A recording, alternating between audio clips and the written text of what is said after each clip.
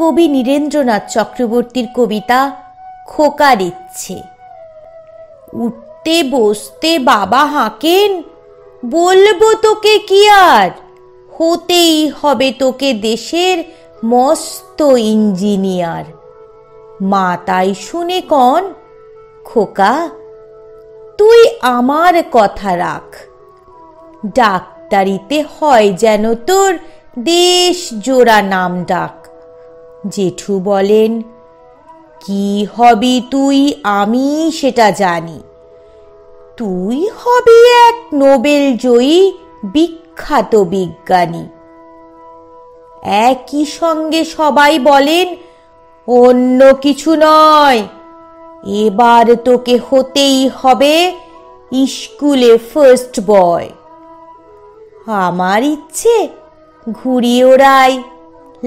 লাট্টু ঘোড়াই আর cricket খেলি? সাঁতরে করি মস্ত দিঘি পার। কিন্তু সেসব করতে গেলেই সবাই আসেন তেড়ে। সবাই বলেন, মন দে পড়াই এক্ষুনি সব ছেড়ে।